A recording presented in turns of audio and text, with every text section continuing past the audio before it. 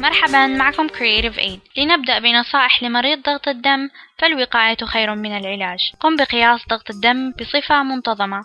إذا كنت بدينا فعالج المرض بإنقاص الوزن.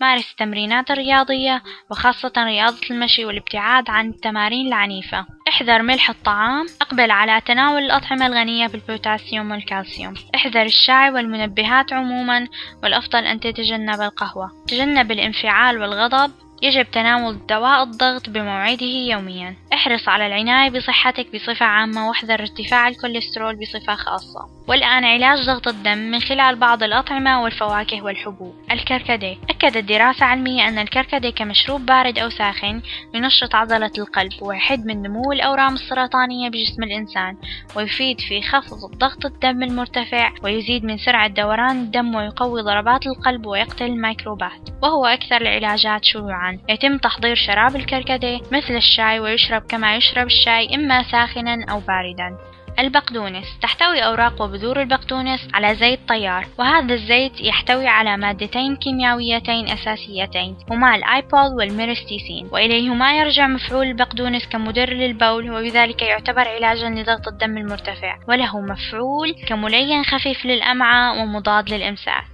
أضف عدد اثنين ملعقة صغيرة من أوراق البقدونس أو ملعقة واحدة من البذور بعد طحنها إلى كوب ماء مغلي. ويترك النبات لينقع لمدة عشرة دقائق ويشرب ثلاث مرات يوميا. بذور الكرفس. تعتبر مدرا طبيعيا للبول لذلك ينصح بعض الأطباء باستخدامها في علاج مرض ضغط الدم وعلاج حالات هبوط القلب أو الفشل القلبي. كما تستخدم هذه البذور في علاج مرض السكر. يشرب منقوع البذور في الماء وذلك بإضافة 2 إلى 1 ملعقة من البذور بعد طحنها إلى كوب ماء مغلي. وتنقع البذور لمدة 10 إلى 20 دقيقة ثم يصفى الماء ويشرب. يؤخذ في اليوم ثلاثة أكواب. الزنجبيل. يتم تناول الزنجبيل كمشروب حيث يساعد على خفض مستوى الكوليسترول في الدم ويحمي من تصلب الشرايين كما أنه يساعد على خفض ضغط الدم ويمنع حدوث الجلطات الدموية. الأرز. يجب أن يتناول الأرز مسلوقا وبدون ملح وللأرز تاريخ طويل في علاج ضغط الدم المرتفع ومشاكل الكليتين.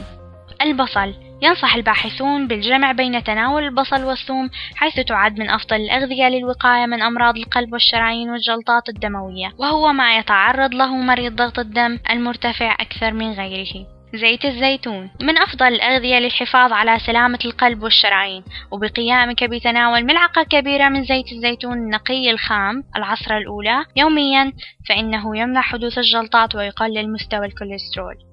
اللبن. وجد أن تناول اللبن منزوع القشدة يفيد الشرايين من أكثر من ناحية وكذلك يعتبر مخفضا لمستوى الكوليسترول. تناول يوميا اثنين إلى ثلاثة أكواب من اللبن بعد نزع القشدة منه. أما بالنسبة لاستخدام اللبن كعلاج لضغط الدم المرتفع فإنه وجد من خلال الدراسات أن تناول قرص واحد من الكالسيوم يوميا يحتوي على ألف ملغرام أدى لضبط مستوى ضغط الدم عند 44% من مرضى ضغط الدم المرتفع. وهذه الكمية من الكالسيوم يمكن أن تحصل عليها من كمية من اللبن ما بين نصف كيلوغرام إلى كيلوغرام إلا ربع. الثوم من أفضل الأغذية التي تعتمد عليها لعلاج ضغط الدم المرتفع حيث له مفعول خافض لضغط الدم الانقباضي بمعدل 20 إلى 30 درجة وخافض لضغط الدم الانبساطي بمعدل 10 إلى 12 درجة. ومن المعتقد أن مفعول الثوم كخافض لضغط الدم يرجع إلى تأثيره المزيل لتقلص الشرايين. كما يعتبر الثوم من أفضل الأغذية التي تقي مريض الضغط من مضاعفات هذا المرض خاصة فيما يتعلق بحدوث تصلب الشرايين والأزمات القلبية. يمكنك تناول تناول الثوم نيئا أو مطبوخا على حسب العلاج الذي يستخدم لأجله. فإذا أردت أن تستخدم الثوم كمضاد حيوي واسع المجال فلا بد أن تأكله نيئا لأن المادة القاتلة للجراثيم الموجودة بالثوم يضيع مفعولها مع الطبخ. أما باقي خصائص الثوم كخافض لضغط الدم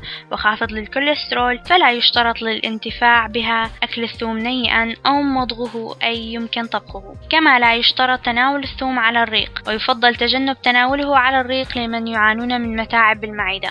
يكفي تناول اثنين إلى ثلاثة فصوص يوميا لحالات الارتفاع البسيط بضغط الدم ولا مانع من زيادة هذه الجرعة. والإفراط في تناول الثوم قد يحدث أعراض حساسية عند بعض الأشخاص وقد يؤدي للإجهاض أو الولادة المبكرة. وأفضل وسيلة للتغلب على رائحة الثوم النفاذة هي مضغ بضعة أعواد من البقدونس. تناول الثوم من خلال مستحضراته الطبية كالكبسولات أو الحبوب وزيوت الثوم يعتبر أقل فائدة بل أحيانا تنعدم الفائدة تماما.